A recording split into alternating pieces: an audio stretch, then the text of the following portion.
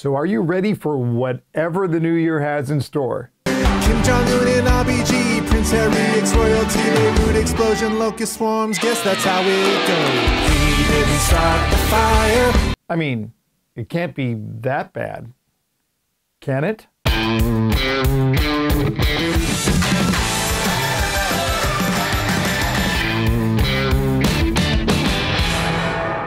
Hey everyone, as we're airing this episode of the 5 Minute Sales Training, it's a new year. Happy New Year! A clean sheet to write on, and with that new year comes new opportunities. I want you to start the year off by challenging yourself. Well, you don't want to do that? Fine, I'll do it for you. Look, we want to be ready for whatever 2021 has in store, right? Now, look, much is still out of our control. I get that. But what can you control? The weather, the economy, global pandemics?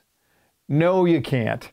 But one thing is for sure you can control how you respond to discomfort. That's right, each year brings both opportunities and discomforts.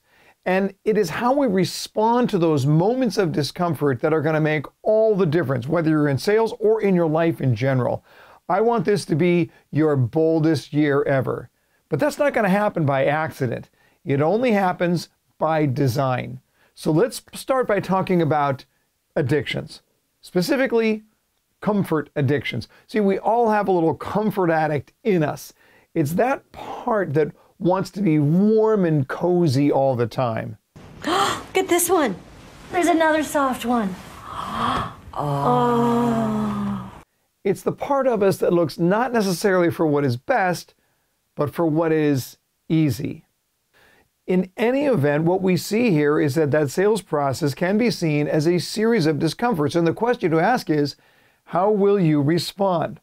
Because it is the response to discomfort that's going to make all the difference in the world, in our sales world, but even in our life in general. And the remedy here boldness. Boldness is about leaning into your discomforts. You want an example? Suppose you're working with a customer and you think you're going to get the sale. It's all going along well. You're using your best material. you got a great sense of connection. It feels really, really good. And you go for it. Here you go. It's time to ask the question. But the customer says, Well, let me think about it. What you going to do now? Seriously, what do you do now? See, the comfort addict actually convinces himself or herself that what they are doing is in the customer's best interest. It's not that customer is asking you for help. They don't know how to deal with it here. They want to know that they're getting the very, very best price they can get.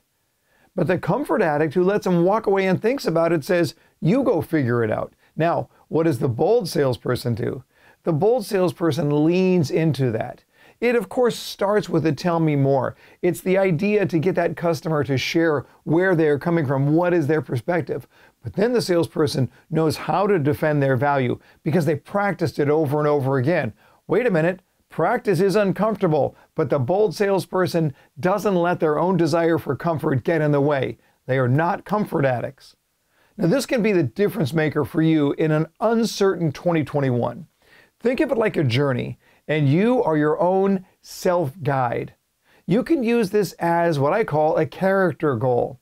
I encourage people each year to think about the quest, not just of setting a goal for your physical needs, although that's very important, or your financial goals, also very important, but what about a character goal?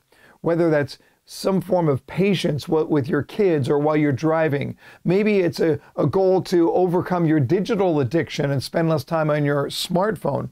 Those character goals make us better people. Well, I would argue that boldness is a great way to do that, to build that boldness muscle. And it is a muscle. You want to think of it that way. If you want to think about being bold, what do we want to do here? We want to start just a little bit at a time. Don't think about the most uncomfortable thing that you have to deal with in your life or in your sales experience. Think about something small. Lean into it, embrace the discomfort, and you will find that that boldness muscle gets stronger and stronger. Journal it. make it a path for you throughout the course of the year to be able to lean into that opportunity. And if you want to get a head start on that, you can read my book, Be Bold and Win the Sale, all about sales discomforts. Hey, thanks for watching the first five minute sales training episode of 2021. If you liked it, give it a thumbs up. If you want more, hit the subscribe button. And if you want a notification of every time a new five minute sales training comes out, just go over to jeffshore.com. We can get you on our weekly mailing list. You'll know immediately when we send out a video. Now, make it a great year, my friends. And remember, learn more to earn more.